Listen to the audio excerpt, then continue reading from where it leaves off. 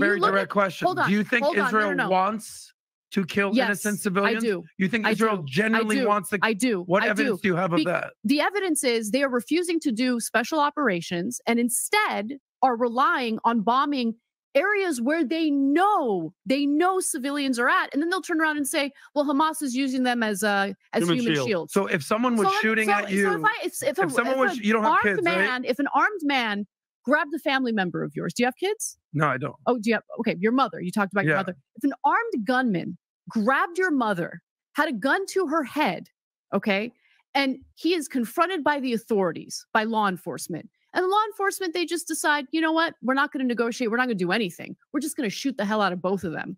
And then they come to you and say, well, your mother, sorry, was a human shield. Would you accept that argument? That's not the question, though. Would you th- accept th- that th- argument? You're, you're making up a, a random story that what my mother is held captive. Hamas.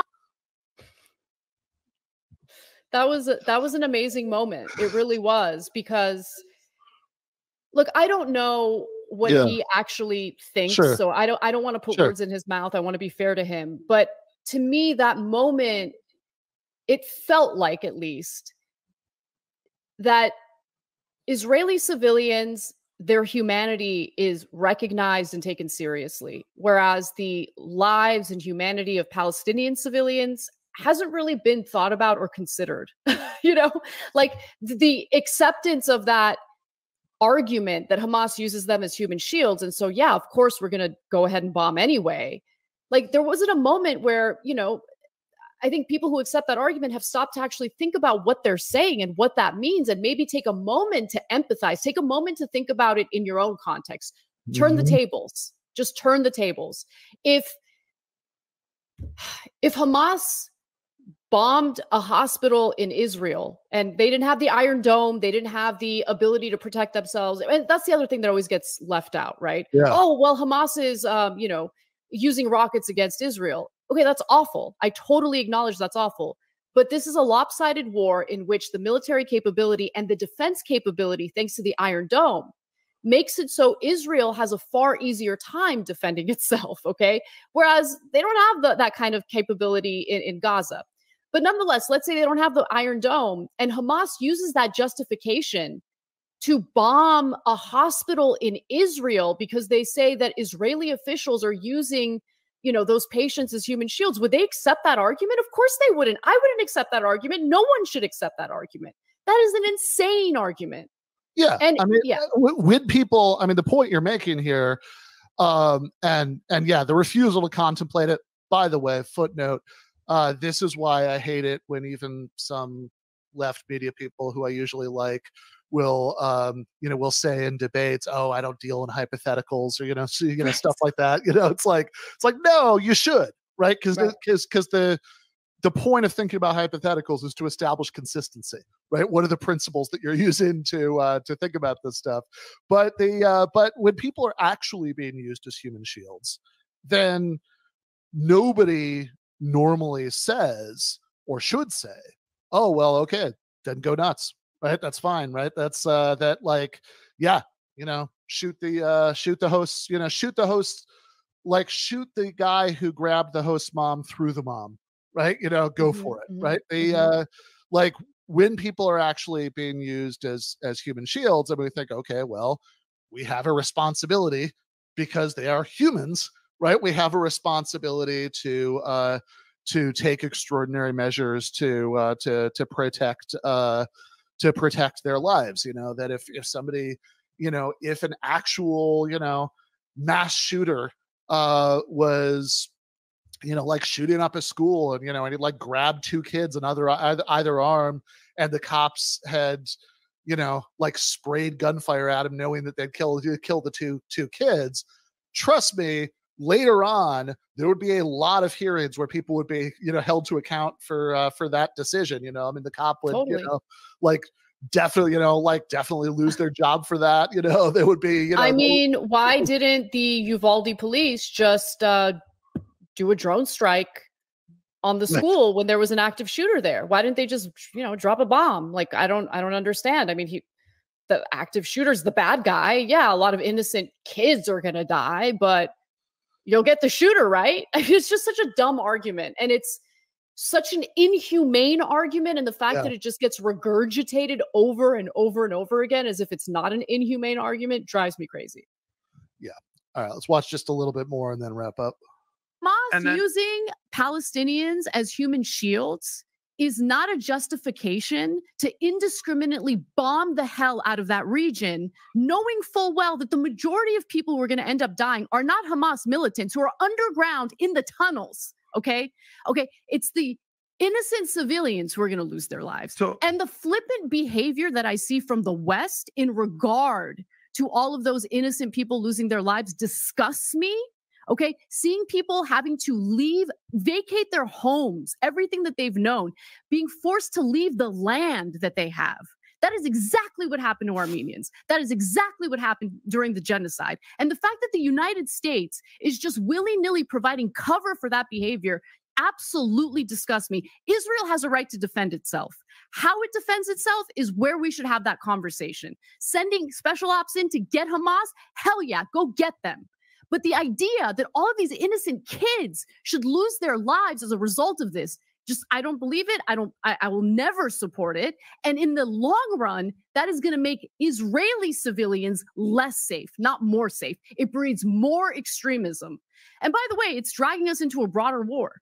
Okay. You have the Arab world like ready to go. And you have Israel under the leadership of Netanyahu acting incredibly belligerent, doing airstrikes in freaking Lebanon. Okay. Talking about going to war in Iran. We're going to bring in all of these Arab countries. You think the United States is going to stay out of that? Hell no. We're going to be dragged into more forever wars. but I just think it's so destructive, so stupid. We're not thinking critically and strategically about how to help our ally Israel while also preventing the reproduction of more extremism. Yeah, the extremism is never going to go away. It's not That's going to the it's not gonna foundation go, of what It's Hamas not going to is. go Okay, away. In their if it- founding let me doctrine, tell you something. their their their, their my entire family, doctrine if my is to eliminate every hold Jew that lives in Israel. let me Do you explain something. acknowledge the founding doctrine of what Hamas is?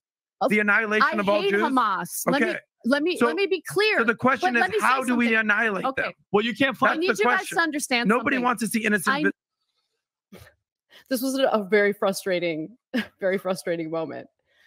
Yeah, because that- it's like this unwillingness to accept the this is a fact this Yeah. is we know this based on the war crimes the american government committed in Mhm. in iraq um, in afghanistan those war crimes and the slaughter of civilians radicalized people in that region and created more extremism and did not it, didn't solve anything okay and that's the point that i was trying to make there and i you know i don't know if we're going to watch any more of it but you know i say one thing that i think we should listen to real quick because this is i think something that most people can relate to can resonate with um yeah But yeah. so so we'll do that i just i Yeah. did just um i did just want to say uh a few things uh so you know one of them is that all of this stuff um about the you know the founding charter of you know of hamas uh which you know is all you know is all true enough i mean there i i would point out there are other times that you know that they have uh they have a you know they did a more recent charter not that many years ago you know that they uh that um you know that was very uh, that was yeah very, i don't and. I, I would- I hate when people bring that up I okay? okay, okay, like i don't care about their more recent charter they carried out the slaughter of Yeah. israeli civilians like Yeah, I, but, but, but, I, I guess to me, if you're going to Yeah. talk about the charter, if the charter is going to be the be all end all, right? You know, Right. then like it's a little bit misleading to only uh, to only bring this up. I mean that they, uh, in, you know, like the founding platform of the Likud party that is currently in charge of Israel, uh, their charter, if you will, right, says that there should be exclusive uh, Israeli control of uh, of everything from the Jordan River to uh, to the you know to the Mediterranean Sea. So I mean, if you're going to um, you know, I mean, if you're going to make this charter-based argument, I think that that you know, I think that that's a little bit more complicated than he's portraying it as being. Now, I don't disagree with what you just said. That um, I you know, you should care less about like what any group's founding documents are than than how they they act in the present. I think Yep. that that's I think that that's true all around, right? You know that uh, that that's Yes. you know that that's what we should uh, that's that's what we should uh, should care you know should care the most about but then the next question would be okay well what's the context in which that happened and what's the and what's the sort of realistic way of making it less likely uh, Mhm. rather than more likely to happen in the future. And you know when you know when he talks like he's using this language about oh how do you annihilate hamas? Uh, this is also very strange to me because you know it just seems like looking around the world how many counterinsurgency campaigns in how many different places have the announced goal of making sure that some like terrorist or guerrilla or whatever group ceases to exist and how many of mm-hmm. them actually lead to the result that that group just ceases to exist Exactly. Yeah, exactly. I mean, also consider that the leadership of Hamas isn't even in Gaza. The Israeli government knows that. yeah they're all- in they're- Qatar. Yeah. So I just what they're doing right now, it's so important to really accept this because again, they can say whatever they're saying, but look at their actions. Their actions are not rooting out Hamas. This is a retaliatory effort and an effort to ethnically cleanse Palestinians from the Gaza Strip. Netanyahu himself said that Israel will be in control of Gaza, will provide security for Gaza. That's how he worded it. Definitely. It's so obvious, guys. And I mean, I, I'm saying this to your audience. I'm pretty sure, Sure. you know, we're all on the same boat. We all agree. But I just, it is amazing to me. I, I the only thing I can think of is maybe some people are consuming propaganda, you know, propaganda that's very pro-Israel, Yeah. and they're not really seeing what we're seeing. But I don't know how you can see the military operations, listen to what the prime minister himself says on national television, see the confirmation of the documents indicating that they want to ethnically cleanse Palestinians from Gaza, and still not accept what is currently happening on the ground there. This is not about fighting Hamas. This is not about erasing Hamas. This is about erasing the Palestinian people from the Gaza Strip. And you see the same brutality, well, not the exact same. They're not doing aerial bombardments in, in the West Bank, but the brutality that Palestinians in the West Bank are facing as well makes it clear to me that this isn't just about Hamas. This is about getting rid of Palestinians. And the fact that our government, with our taxpayer money and our weapons, is supporting what's happening really does disgust me as an Armenian. And real quick, one other thing I'll say. Yeah.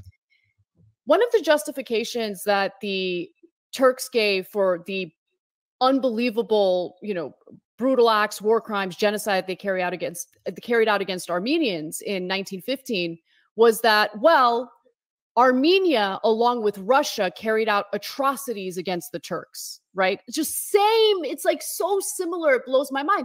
And you know, people will come at me and be like, "Oh, Ana thinks that she can call it genocide because she's Armenian. She thinks she's a uh, an expert on genocide because she's Armenian." When you come from a people who who suffered a genocide and and then lived in a country a huge part of the diaspora lives in a country that forever refused to even acknowledge the genocide because of their NATO ally Turkey. You hear stories about it throughout your entire life okay regularly about how fathers saw the Turks coming and were so terrified about what would happen to their daughters that they killed their daughters and then killed themselves okay those kinds of stories. You hear about all of it throughout your entire life. So yeah pardon me if if it's offensive to hear the word genocide in the context of what israel is carrying out in the gaza strip but i can say without a shadow of a doubt that what they're carrying out in the gaza strip is genocide. And if you were disgusted by the genocide denialist in regard to what happened to armenians you should be disgusted with yourself if you are repeating the same denialism in regard to what's happening to the palestinians right now yeah um and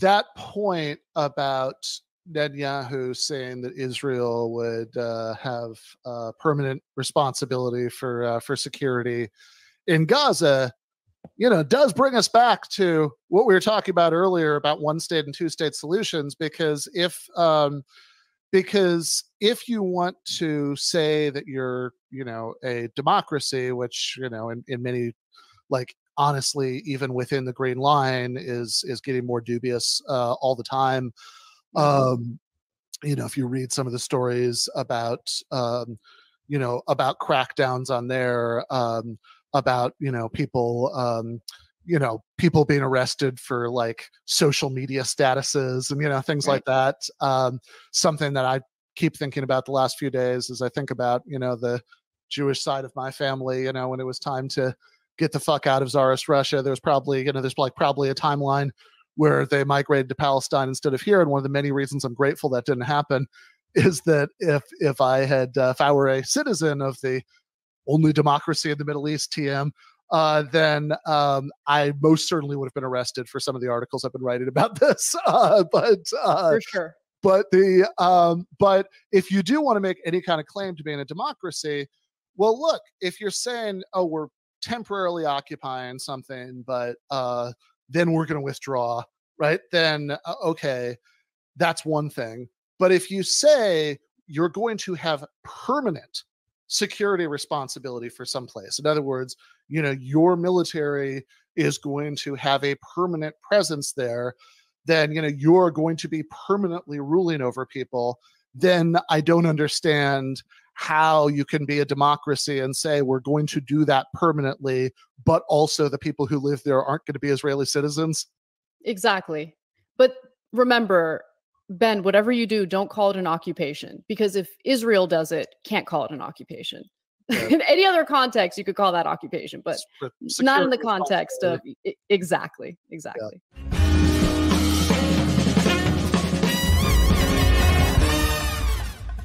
You have been watching free public content from Give Them an Argument. To access every single episode of the show, the main show on uh, Monday nights, all of the streams, all of the uh, debate breakdowns, all of the patron exclusive post games on Monday nights, all of the patron exclusive bonus episodes every week, and much, much more, go to patreon.com slash Ben Burgis. I cannot resist ending this with don't be foolish.